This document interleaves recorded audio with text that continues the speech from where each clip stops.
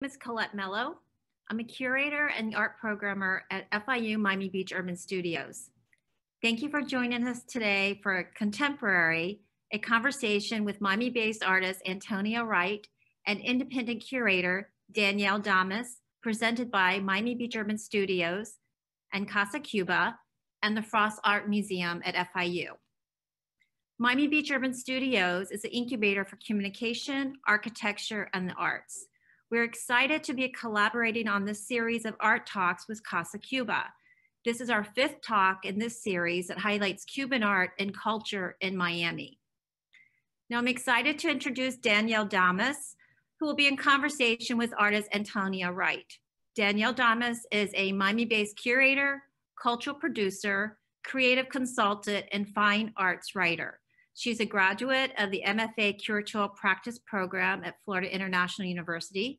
She has curated numerous exhibitions throughout South Florida, including here at Miami Beach Urban Studios, the David Castillo Gallery, and the Bakehouse Art Complex. Her curatorial writings have been featured in the Miami Rail, Inspicio, and Lux Interiors and Design magazine. Hi, Danielle. It's great to see you. Thank you for inviting Antonia Wright to be part of this series. I look forward to your conversation this evening.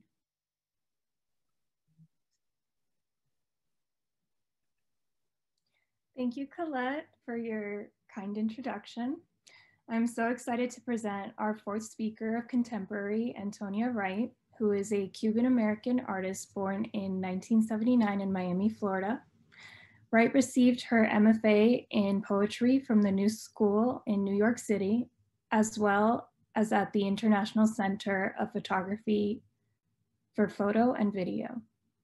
She has exhibited in the US and abroad and has participated in artist residencies both nationally and internationally. Exhibitions include shows at the Hirshhorn Museum and Sculpture Garden in Washington, DC, the Perez Art Museum Miami, and the Faena Art Center in Buenos Aires, just to name a few.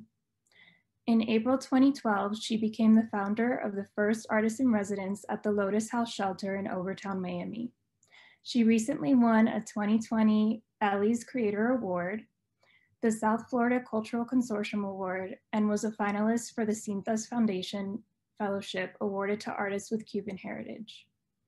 She is represented by Spinello Projects in Miami, Florida, and affiliated with Luis de Jesus Gallery, Los Angeles. Wright's work has been presented in publications including the New York Times, Art Forum, Art in America, Hyperallergic, the Miami Herald, and the art newspaper, among others. Um, Antonia, thank you so much for joining us today, all the way here from Vermont.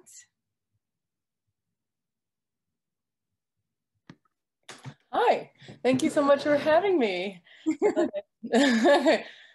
um, we have a real treat tonight for everyone because Antonia is going to be showing us some images and visuals for some of her current projects and things that are upcoming for 2021. Um, but before we get started, I thought, you know, we we get a moment to start by by getting to know you a little bit, uh, getting to know your background. I know I, I said a few things from your bio, but anything you want to share with the audience, um, just so they get to know you. sure. Um, yeah, as you mentioned, uh, my, my mother's Cuban. I was raised in Miami. Um, the work I'm going to be showing tonight is all about protests. And uh, my mother used to take me to protests um, all through my childhood. We used to go to Calle Ocho for Hermanos al Rescate, like, like with pots and pans. So, yeah, like everything with the women in white. I remember the first time I saw them. I remember closing a bridge in Miami Beach uh, for wet foot, dry foot policies. So this sort of started, you know, kind of a love of protests, I would say. From an early age. yeah. um, I also wanted to mention to anyone who's tuned in, um, if you guys have any questions throughout the presentation, um, please feel free to enter them in um, or submit them through the chat. And I'm gonna do my best to get through all of them uh, before we finish. But just so everyone's aware, feel free to send whatever questions you feel like asking during this time and, and we'll be here for it. so Antonia, um, did you, okay, so you, you grew up in Miami, correct? I did. Um, how did you make your way to Vermont? This is your second home or? That's an interesting question. Well, yeah, it's been an interesting year. Um, my mom bought a house in Vermont a few years ago, and we normally come every summer. I have two little kids, and they, it's good to see them like play in the woods and get dirty and run around in nature. And this year, I mean, we came up and then we never went back. Yeah. so, you know, it's day by day, so we'll see. But I have a feeling the cold will bring me home soon enough. And I have a big show coming up, so I have to be there for it. yes, that show's coming up in November. Or um, well, a few shows, but there's a big, big one in January. That's a public art installation that I'm working on. So I 100% have to be there. And if I go to Miami in December, it's so beautiful. And I have a feeling that I'll stay. And coming back to January in Vermont isn't going to be as as alluring. yeah, so true. Well, speaking of projects, um, I guess we can get started on the presentation. Um, and I think you're going to share your screen, so just give us a moment, everyone. Sure. So um, I will talk about a few projects. Um, this is a project that I currently have up, and this is in the design district. It's in a storefront window there. Um, it's a project created by Claire Breukel, and they offered me um, yeah, the storefront. Um, and so, you know, I've been like everybody else in my house watching the news um, and watching our country erupt into protest over um, systemic racism and police brutality. And um, I found that like the media focuses so much on this idea of riots and these images that you see over and over again.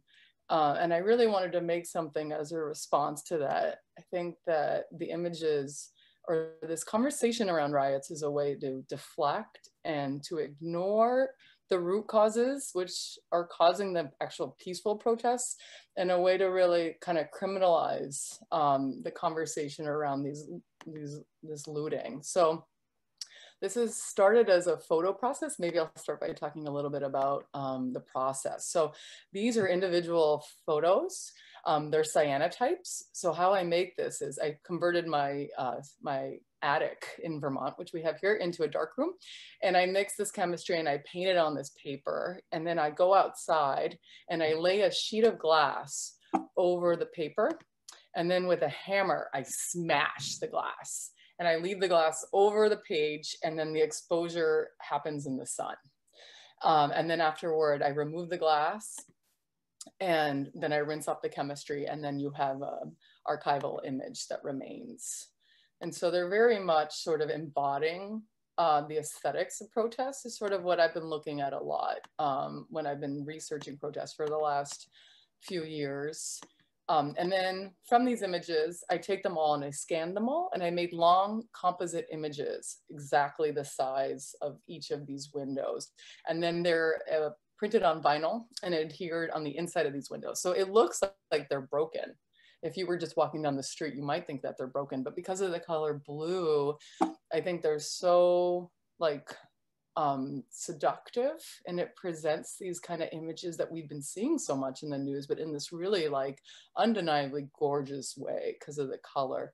And it also takes something that's like a concrete image, like broken glass, and abstracts it. So I find that it looks like nerves in the body, you know, or veins or stained glass even, which is really beautiful. And then I'm presenting it also with uh, a video that I made a few years ago, but still I find relevant to this project.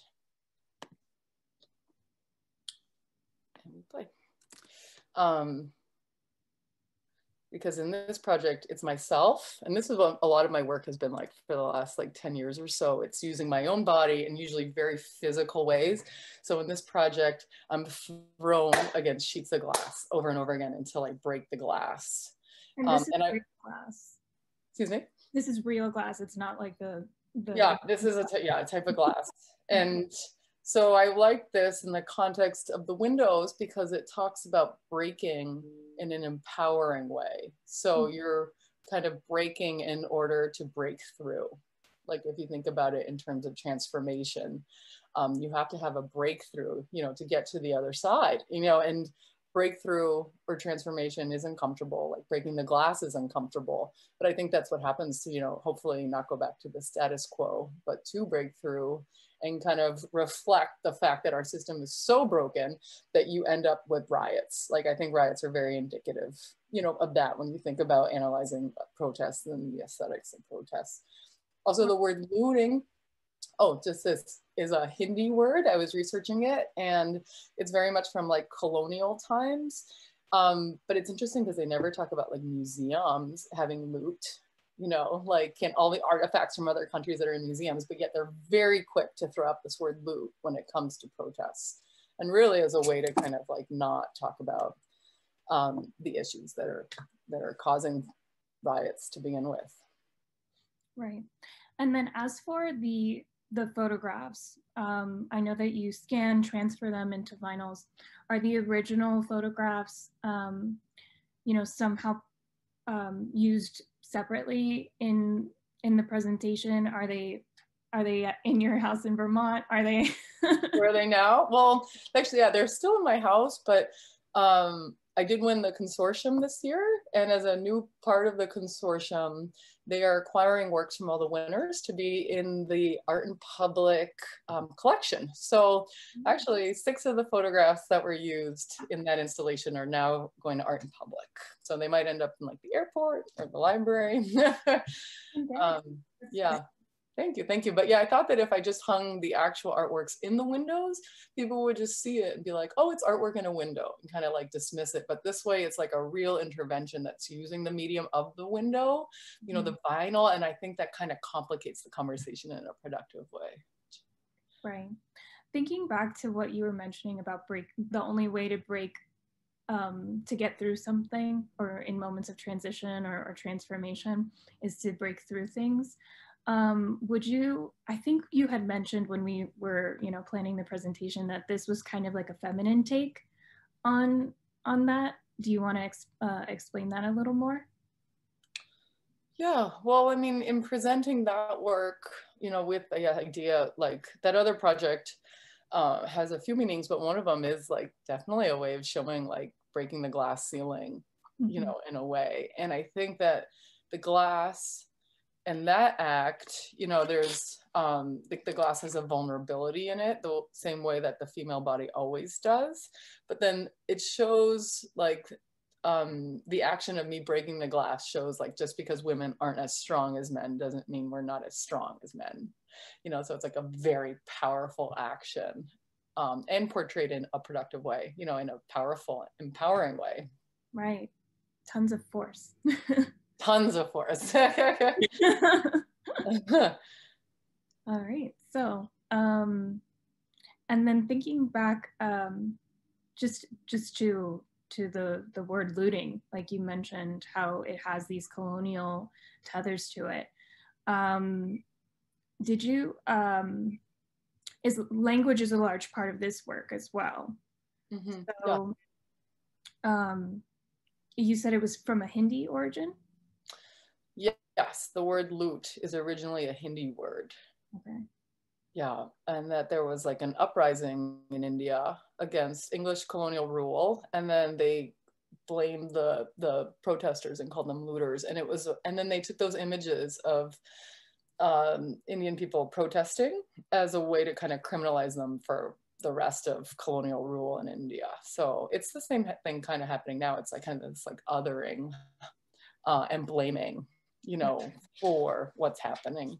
Um, but yet the, the language is always important in my work. You know, I always kind of think about that because I do have a background in poetry and the title of the piece is called Map, mm. which I think kind of charts the past and kind of shows where we were, but then it's also still thinking about like the future and like what remains and where we going now. And how, how long is that piece going to be up in the design district? Was it also intentional to have it there? Um, yeah, only one more week. Oh. Up. Yeah, I just got the news. Um, so, so yeah, the space was rented. So that's sort of part of this project is there like these little spaces that are available and then they're putting artworks in. So when I saw the storefront, I was like, well, I have to make something about the storefront in America in 2020, you know, like yeah. such a loaded place. Um, yeah, so it's up for one more week and you can see it from the street or your car and it's not by appointment, it's just there always and the video is always running. So Please. So everybody has one more week. yeah, check it out. And there's amazing projects right now in the design district. There's one by Adler, Guerrier, um, with Four Freedoms and Cristina Lei Rodriguez. And like, there's a whole bunch of other really cool shows. Mm -hmm. And then um, the next project you wanted to talk about, um, I'll let you. I'll okay, let you. I'm like, which is it? uh, um, I think I will talk about this one um, that's coming up. So as a part of the consortium, um, we have an exhibition at the Fort Lauderdale Museum of Art, uh, curated by Bonnie Clearwater. And so as part of you know my research on protests, I started researching a lot about Hong Kong protests and the pro-democracy movement. And it, there's such a fascinating protest because it's all about like being ahead of the technology that's getting used against them in protests. So mm-hmm. um, their motto is be water from a a Bruce Lee movie, which means like always adapting, always changing their tactics. And one big tactic is that they don't, they're trying to block facial recognition technology. So they're using a lot of lasers in protests. And what they do is they shine lasers on the cameras so that they can mobilize and move and organize and not have their um, their identity taken and sent to mainland China where they, where they will be surveilled for basically the rest of their lives. So they're using these lasers a lot. And it's interesting, this, I guess I should move backward, but the, um, they have these lasers and a lot of them are like $10, $12 cat lasers that you can buy on Amazon, but yet they're using them in this really effective way. And so then they arrested one day, this one protester for having 10 lasers in his backpack and they did this whole scene, uh, a press uh, conference with the police where they held up a piece of newspaper and they had a police officer shine a laser until it started smoking. And so then the next day, hundreds and hundreds and hundreds of people showed up with lasers as like an anti-protest movement against this one protester getting arrested. And I saw this image and I was like, is this a concert? Like, what is this? It's like, it looks like a laser light show. And I was like, this what protest is gonna look like in the future? Wow, like it's so unbelievably gorgeous, but then it's also really like eerie when you think about like what these what it means and what's behind these lasers. So um, here they were using them against the police. And then here's this one person held up a newspaper and everybody shined the light on it to show. Cause like, if you can arrest somebody for that idea of putting a hole through a newspaper, you can arrest somebody for like a pencil, you know, or anything, you know, like anything can be deemed offensive. So it becomes very much like arbitrary policing, um, which we see. So this was like this kind of action so then um, this is in Chile in Santiago. They were using lasers a lot as well when the country erupted there in protest earlier in the year. So you're starting to see them now and look how like it's unbelievably beautiful. So I'm making an installation now um, using these lasers. Um, and then there's an audio score as well um, that's gonna be, and that opens uh, November 21st at NSU Museum of Art, Fort Lauderdale. So for your piece at NSU, is it going to be a performance? Is there a performance component or is it uh, just installation? It is an installation, um, but it's very much performative. I found this poem um, by this American, famous American poet, Anne Sexton. And um, she used to read a poem about her daughter at Vietnam protests.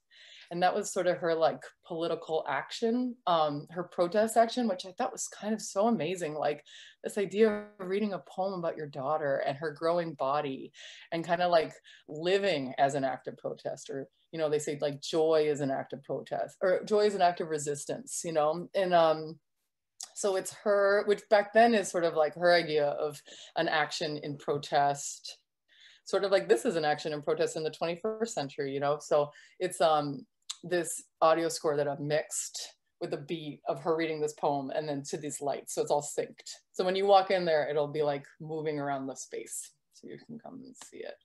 Definitely. Yeah. Yeah. These images are really powerful. Just even like they're beautiful. They they they look like a concert, and like you're saying, they they.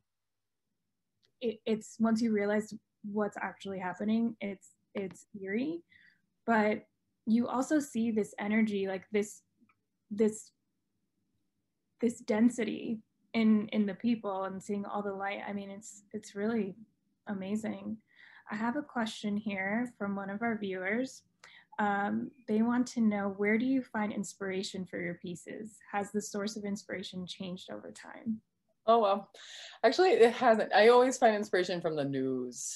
I think that all my work is always based on like mediated images that I see and then kind of transforming them and bringing it to the body as a way to understand. And like for before this kind of work, um, for the last 10 years, I've been making my work using my own body. So like I would read the news and then I found myself feeling like really apathetic, like not intentionally, but I would read the news like every day. And then it was like very hard to connect to like, or deeply care about what I was reading over and over again. Um, so then I would kind of bring it all to my body as a way to understand. Um, like I've done things like rolled naked down alleys in Miami Beach, like when the BP oil spill happened. I felt so disgusting that I wanted to do something to my body that equaled what we were doing to nature. So it was always like this way of bringing it in or understanding. And I think it still carries through to like these projects, like the broken glass, like we see it over and over again in the news, or even these lasers, like kind of like bringing it in as a way to kind of like connect with it on a visceral level. So even though I'm not using my own body these days, I'm trying to create situations for the audience to sort of feel you know what what it is you would be reading about or seeing. Wow. I mean that must also you, have you ever felt very surprised? Like let's say after one of these um, you know you watch the news you the bp oil spill you roll your body down um, you know a, a street have you ever been surprised by what you feel afterward every time totally because I, I, have like an idea in my head mm-hmm. and i'll go through all the components of it but i won't do it intentionally until the performance either for a live audience or for video because mm-hmm. i want this kind of like raw energy and this immediacy to the action and if i know what's going to happen then it's more of like i'm acting and it's less performance art mm-hmm. and i love performance art i really really do and I, what i love about it is that like kind of raw immediacy of it. And so like you're always making decisions in the moment. I think that's a really big part of it. So even though I have some of this stuff planned, like I have no idea what's going to happen until I'm sort of there. So I'm always sort of surprised afterward. Like even like rolling down the alley, like I got a, I hit my head really hard. I got a concussion. I got a black eye. Um, but yeah, it's all sort of, I think hopefully goes into like the, the work. Right. so we have one more, well, we have two more projects to talk about, correct? Yes. Okay. Um, so I'll talk about a project. Um, maybe I'll talk about this one and then, um, so I just won um, an Ellie Award out of Oolite Arts um, for this sculpture. Uh, and this is just some text. It says it's in collaboration with this musician Helado Negro. Um, and what I've done is transformed a cement truck into a music instrument that protests anti-immigrant nationalism by transforming the cement truck into an instrument that plays the song Young, Latin, and Proud.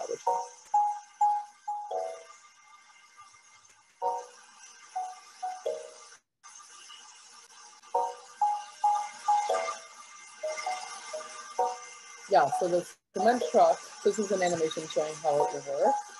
And it looks like a music box. And I thought about using it or converting it into a music box instrument, but then I realized that it has more Western European origins. So then this is now based off of marimba, which is originally from Africa, but then taken to the Caribbean. Um, and so that's it. I think it ties more into the concept. So it thinks about like, um, so you, there was a little bit of a, a sound competition. Do you mind repeating about oh, sure. um, the origin of the instrument? Yes, so it's uh, originally an African instrument that was taken to Latin America, to the Caribbean and South uh, Latin America, and brought in. Yeah, and it thinks about like what what is the material of protest? Like what is holding up these bodies in public space? And it's like concrete, you know. And then you think about like, but who's building those sidewalks? You know, the same people who are trying to get kicked off of them, or who's building the wall, the same people who are dying trying to cross the wall. So the cement truck really talks about like all the invisible labor and trying to bring in. But then with the song, Young, Latin, and Proud, it's really like this positive song that is sort of like a call to protest, like to bring the Latinx or the brown body into the public sphere of protests. Mm-hmm. So I'm working on this now. So speaking of invisible labor, um, when you think of this this project, how do you how do you envision it unfolding? Like, do you feel like this truck would be mobile? Like, or mobile? Yeah. yeah. I think that's one of the cool things about this. I mean, the scale is enormous. Like, it, it's hard to go inside a space, but it could go outside, and it can definitely travel. So, I think of it as going to protests. You know, um, or going to the wall, you know, going, it mm-hmm. can travel. And I think the context of where it is shown will affect its meaning too. Mm-hmm. And then, you know, maybe working with Helado Negro and singing live or performing with it. that could be really cool. I'm just, I like just looking at it, I think of, I wonder how loud it would be. I wonder what kind of materials you'd use to, to make the, the little marks on the, on the truck, you know? Yeah. I, that's where I go.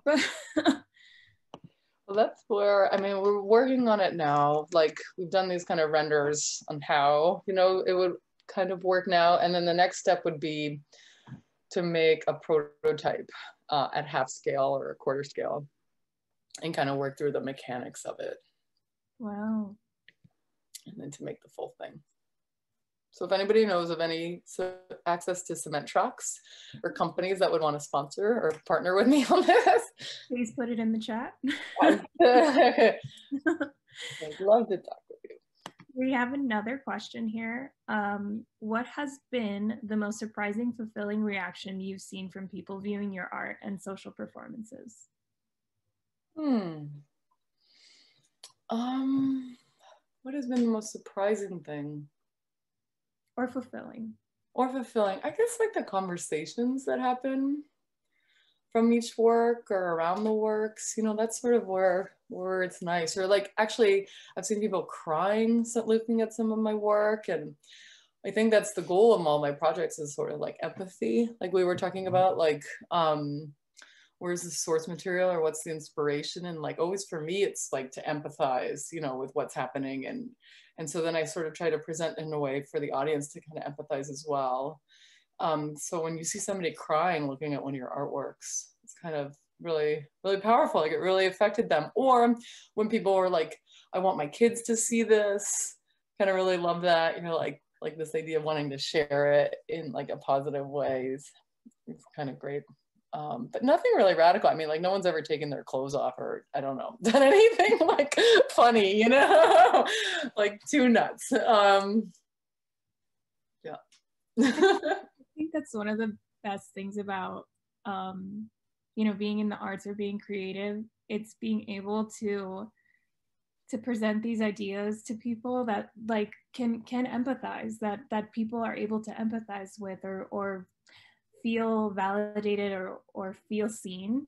So some of these projects it's like the second you say like oh young latin and, and free it's like oh man i know that song. And um it's it's this excitement of representation this excitement of um you know something that's moving something that's going to to help bring awareness help bring you know collectivity and and just connection and it's it's all exciting. mm-hmm.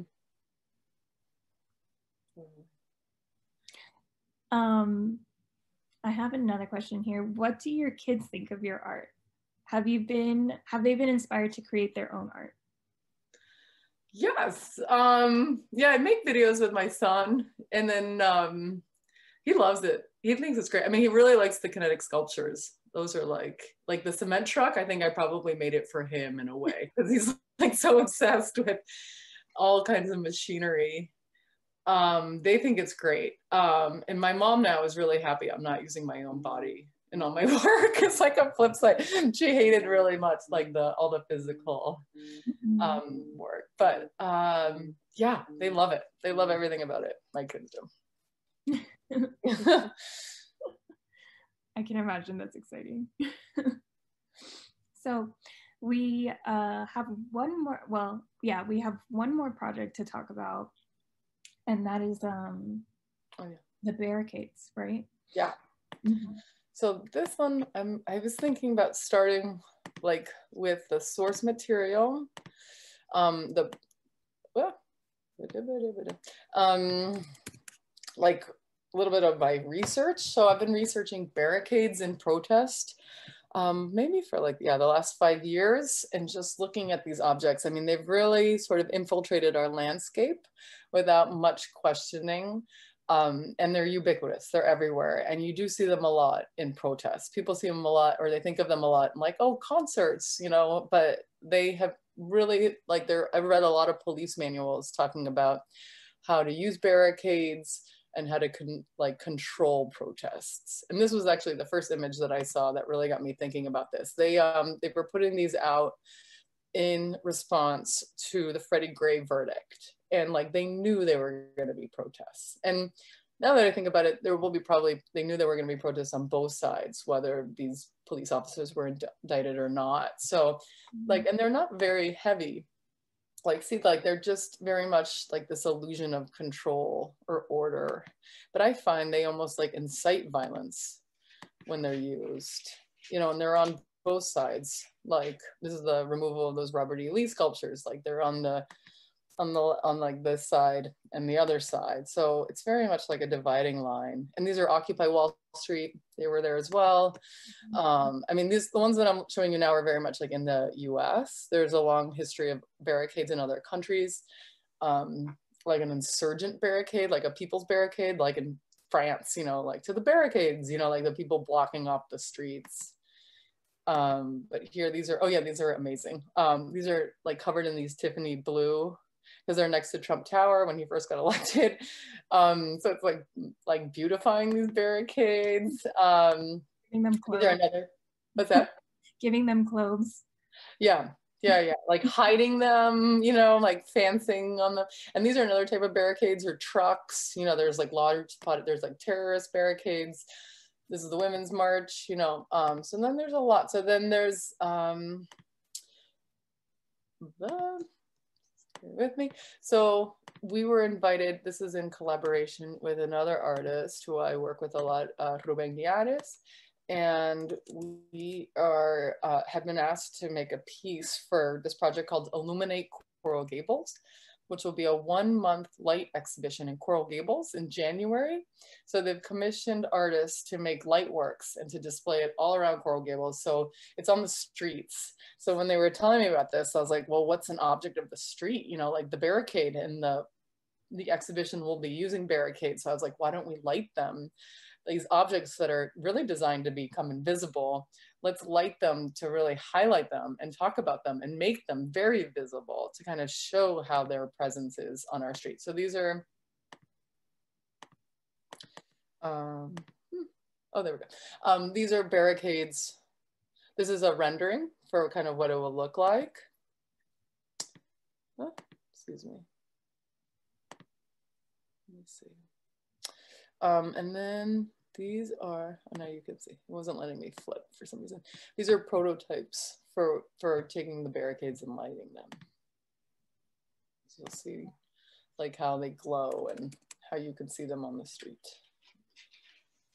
So yeah, that's gonna be in January. And it's a really amazing show because again, it's all on the streets, all social distance. You can kind of drive or walk around and see it. So it's thinking about a new way to present work under these circumstances. And uh, I believe you had told me this, but I'm not sure now. are they going to be um, intentionally obstructing traffic or are they going to be sectioned off in like a pedestrian area? They're gonna be Both. So there'll be clusters of them all around the area of the exhibition. So yeah, sometimes they're gonna block, sometimes they'll be in front of another artwork. So they'll be used in different ways. Mhm. Just to make it more pronounced, more visible. Yeah. Yeah, like lighting the ones that they would have already maybe normally used. And then kind of placing them in other areas for for to kind of highlight them. Amazing. And you're doing that in a collaboration? Yes. Yeah, with another artist, with Ruben uh, Millares, is the artist I've worked with for different projects off and on throughout the years. Amazing. Yeah. Yeah, it's exciting. It's fun. That's super, super exciting, um, especially for Coral Gables. Um, I guess um, one question I would have with with those, um, you you particularly are using just those types of barricades, not necessarily not necessarily the cement ones, which I also find are creeping in on the the like the environment. Like I remember going down Lincoln Road and it was very open going and crossing the street, and now there's these cement barricades on each Yep. crossing. So, which is interesting. It's interesting the concept of protection versus you know obstruction and and things like that. But Yeah. you're you're focused on the metal lightweight ones. Yeah, the more the police use barricades or those metal barricades. Yeah, because those are the ones that the other ones that you're talking about are terrorist barricades. Mhm. Yeah, those are you see them now everywhere, and you'll see them too. Like if you ever see like downtown Miami, I think it's in front of the courthouse. They have like these huge like planters. Those are kind of types of terrorist barricades. Um, like even in that picture of Trump Tower, like the um, The Tiffany. the trucks like that's a type you know? Um so there's all these different ways. But i just kind of think it's interesting in the context of protests like how public is public space like when you're being organized and controlled within it you know? Um so just to kind of just to even talk about these objects and kind of maybe make you notice them now i mean i see them everywhere like you know they were like totally ubiquitous and they've totally like entered into our landscape over the years you know um so Yeah, they've creeped in. I have a question here. How important are collaborations for artists today? How can younger artists connect with more experienced artists and maybe find a collaboration there? yeah um well i love collaborating with other artists because you know i have a way of doing things or thinking about how to execute a project but then if you work with somebody else like ruben is you know he's an amazing musician. So sometimes when i work with him all of a sudden he's focusing on the sound or the you know a lot. And like that's something that i would think about later down the line but it's not the first thing i think about you know? Um so it's really cool because then you kind of bring your skill sets together and make something bigger, you know, more dynamic or a little bit different than how you would normally create or think. Uh, younger artists, I mean, I would start, I mean, if you, you could always ask like artists if you can work in their studios. It's a really interesting way to learn about another artist's process uh, or mentorship. Um, yeah, I think also like collaborations, I don't know if they never I've never found them to be so planned. Like they just sort of start happening based around your conversations or the people you know, you know, your connections. Maybe younger artists could start collaborating with their teachers. Um, so yeah, I think there's like no manual on how to do anything ever in the especially in the arts. So you kind of just like just start start making. And I find once you just start focusing on making work, everything starts unfolding. Mhm. You kind of attract. It- It's it's exactly what you're saying. It's not necessarily planned, but it kind of just you know happens where you realize, oh, I have this common interest. Hey, I, I know how I can help you there, and then you know it just kind of the magic happens together. Um, but yeah, definitely reaching out to teachers or you know seeing if you can have some sort of mentorship is something that's always worked for me at least Mhm. um, can you um, talk a little bit about the importance of networking for students in the art field i guess it's it goes hand in hand with that previous question um, Yeah, I think it's like when you're in school, like one of the great things about being in school is your network and all your peers and all your teachers and everyone you're exposed to. And I think that, you know, in the art world, for whatever, it's so seems so big, but it's, I don't think it really is. And like, I think everybody ends up coming back in your life all the time. At least I find, you know, so like really kind of gravitate toward the people that yeah that you have like a connection with and you find exciting um and just start building from there creating too you know you can also like if you wanted to um one way i guess to the previous question like wanted to work with older artists in collaboration necessarily like um, you could start a collective and invite artists to join like i work with this international collective we're based all around the world all different ages demographics, like everything, nationalities. So, um, and we keep bringing in people based on each project or each country we work in. So that's kind of a cool way that's not so fixed, you know, it doesn't have to be so rigid, I guess, but it's just like this kind of like we inspire each other and then um, and work and keep working and then it kind of unfolds. So, I mean, you know, like I think in the art world also like network sounds like a really formal word, but I think it's just like your friends and like people that that you respect. Yeah.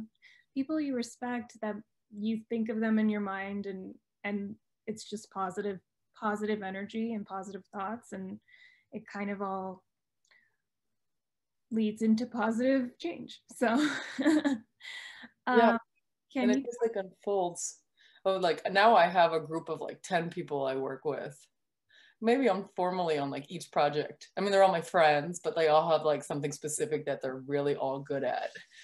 Mm-hmm. Um, and then uh, it's like sort of my goal is just to work with people I really like and respect in places that I like and respect with people I like and respect. So, you know, that's that's a big thing you just mentioned too about having everybody good at something specific. It's really important, at least personally, to realize like what I'm really not great at I should not pretend I'm great at it. And and if someone, you know, in my circle is the the master of that thing, it's kind of this blessing that's that's brought to you because you guys fit. You're yin and yang. You're you're able to collaborate and bring something to the table that, you know, the other person needs needs a little help on or or you know is just missing that little piece and it's really beautiful to see it all come together yeah, it's so true. Like I think at the beginning when you think you're an artist, you have to do everything. Mm-hmm. But you don't have to learn how to do everything. Like cuz right now there's already somebody who's like been doing it their whole lives and they're a master. So like work with them on a project, you know, like bring them in. So I realized that a while ago, like I'm never going to be a welder, like a master welder, like to the scale that some people like my friend who helps me on all my projects work is. So I just bring them in and we work together on the project, you know, and that's and that's great. You know, I don't have to learn how to be a master welder to still like be able to kind of execute all the ideas. Right. What is the lesson you learned or advice um, as you transition from art student to an independent artist? Mm-hmm. What's the lesson you learned from art student to independent artist? Well, I think it's all evolving. Um, like in there's a couple things. I mean, like early in my career, somebody told me like being an artist is like running a small business. So like even if that sounds really boring and it probably is it is like i have spreadsheets you know i pay my taxes like i run my studio like a business um, and that's something you learn how to kind of develop as you go you know like your powerpoint skills like things that you never think you need but then um, i mean i guess the biggest difference is that you know like you don't have critiques every week. So then you have to sort of start learning to cultivate a group of people whose kind of feedback you want because it sometimes isn't so helpful just to get so much feedback when you're in the midst of working on a project because it could maybe stall your momentum with the project.